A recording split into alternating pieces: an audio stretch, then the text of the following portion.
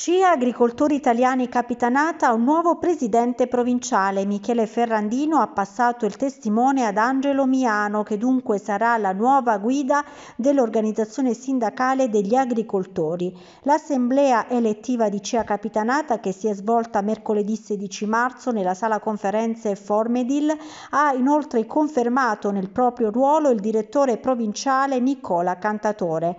Angelo Miano, originario di Lucera, dove svolge la propria attività di agricoltore, vicepresidente del consorzio di bonifica della Capitanata, Miano sarà coadiuvato, oltre che dal direttore Nicola Cantatore, anche dalla presidentessa vicario Silvana Roberto e dai vicepresidenti Andrea Iaffaldano e Pellegrino Mercuri.